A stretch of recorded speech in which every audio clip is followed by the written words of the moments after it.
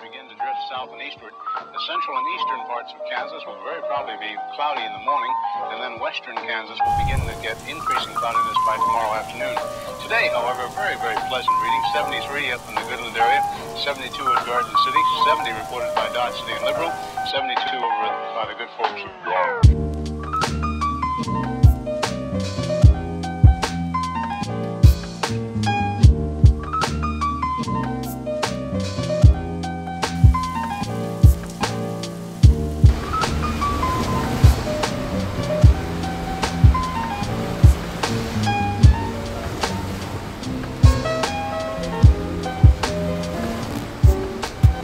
and in the Park City Blackberry.